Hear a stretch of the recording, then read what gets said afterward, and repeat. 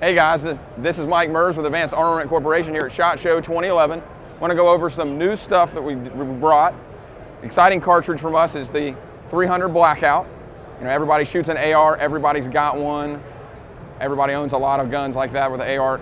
Like the light recoil, always looking for a little more out of the round, a little more out of the cartridge. And then the flip side of that is if you go 308 and you go to a 308, you end up with a larger gun, bigger recoil, heavier ammo, more flash, more sound, coming from a silencer company. So what we did is we made a cartridge that from here rearward is 223. So it takes your normal 223 bolt, fits in regular AR-15 magazines. But from here forward, shoots a 30 caliber bullet and it'll shoot any 30 caliber projectile. So you still have your same lightweight gun you've always had and always loved, but you have the ability to shoot a bigger bullet. Right now we have 220 grain subsonic ammunition, and when I say subsonic, it cycles the gun just like normally, um, locks open on the last round, not having any cyclic issues. So we're doing subsonic 220 grain ammo. We'll eventually have in second quarter 110 grain hunting ammo, as well as 150 grain or 147 grain plinking ammo. It's going to be ball round. It's going to be really inexpensive, something you can shoot as blaster ammo. So really excited about this cartridge. On top of that, this is our 16 inch upper that we're making. Um, it's our upper M16 bolt carrier group. Everything you would need there. Knights Armament rail. This is a URX rail with an integrated flip-up front sight.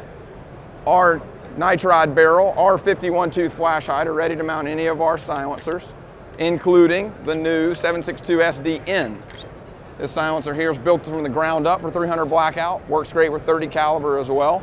Or really short applications like 7.5 or 8 inch 5.56 guns. For that matter, any barrel length 5.56 gun. So excited there.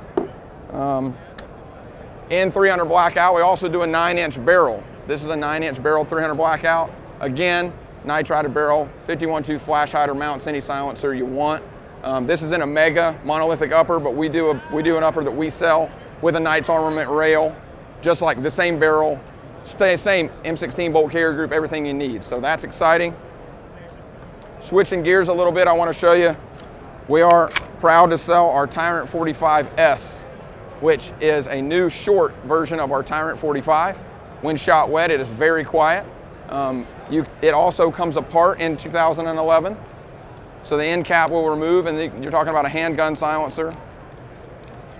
That is completely user serviceable.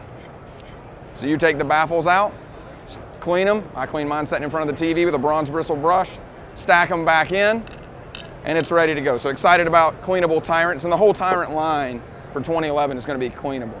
Um, also, this is not available yet, but this you know looks like a regular Ruger 1022 in a Hogue stock. But we've actually built a silencer into the barrel.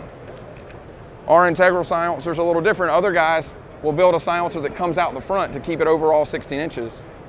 Instead, we built the silencer into the barrel. So this starts life as a heavier barrel. We turn it down put ports in here. I if you can see the ports. We vent into this coaxial area. This is a baffle. We vent into this coaxial area. And we build a little monolithic core on the end. This is only one tax stamp. There's not, this, this doesn't come off, so it's not a SBR and a silencer. It's just a silencer. And you can get down here and clean the ports. Other setups, like I talk about, silencer comes out the front, but you can't get down here and clean the ports. So anyway, really excited about stuff from Advanced Armament. This is new for 2011.